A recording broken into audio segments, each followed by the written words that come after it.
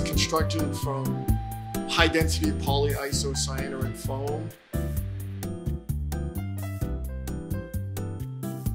A lot of people think the outer facing makes GoBoard waterproof. That's actually not the case. What makes GoBoard waterproof is the closed cell foam core. So the foam core is waterproof throughout. So if you have a section of broken facer where the facer was, was uh, damaged or removed for whatever reason, uh, thin set mortar will actually stick to the foam. That spot doesn't need to be repaired, it can just be tiled over.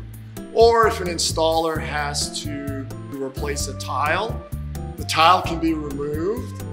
Some of the facer will also be removed you know, with the tile. You can just tile to or apply the thinset mortar to uh, the exposed foam and re reapply a new tile